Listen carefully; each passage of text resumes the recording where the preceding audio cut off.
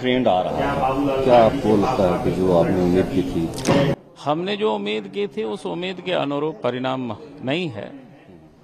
तो अब जनता ने जो जनादेश दिया है तो उसे हम स्वीकार करेंगे और क्या करना है इस पर? इससे अधिक तो और कुछ भी लोकतंत्र में आप नहीं कुछ कह सकते हैं। आपकी क्या भूमिका होगी? हमारी भूमिका जो जनता ने दिया है ना वही भूमिका हमारी रहेगी। जनता ने हमें जो मैंडेट दिया है वही हमारी भूमिका रहेगी। उससे अधिक हम भूमिका क्या करेंगे उसमें? आप महागठबंधन के हिस्सा नहीं रहे और ये खंडित जनादेश दिख रहा है। आपका क्या रोल है?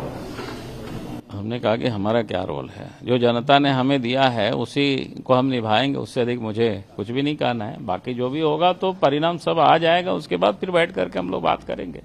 आप एनडीए की ओर जाएँगे कि जेएमएम गठबंधन? हमने कहा कि भैया जो हमें जनता ने जो जनादेश दिया है जो मैंडेट हमें दिया है हम जनता के साथ हैं। और एनडीए और यूपीए की हम क्या सोचेंगे बताओ। एक कयास ये भी लगाया जा रहा है कि आपको बीजेपी सीएम के रूप में देखिए कयास तो कई एक चीज़ें लगाते रहते हैं लोग उसमें कोई दिक्कत नहीं है। कयास तो लगाने वालों के लगाते रहते हैं। हर बार लगाते हैं कोई पहली दफ़ा लगा रहे हैं कयास ऐसा नहीं है। देखिए हम खुद हर जगह जो है झारखंड में लगभग सभी चरणों में हमने प्रचार किया। और जो इस बार झारखंड के जनता का जो मूड लग रहा था, वो एक तरफा लग रहा था। वो नहीं चाहते कि जो मौजूदा जो सरकार है, जो लगभग 19 साल बिहार झारखंड को बटे हुए और 19 साल में से 16 साल भाजपा की सरकार रही, फिर भी गरीब राज रहा झारखंड पिछड़ा है।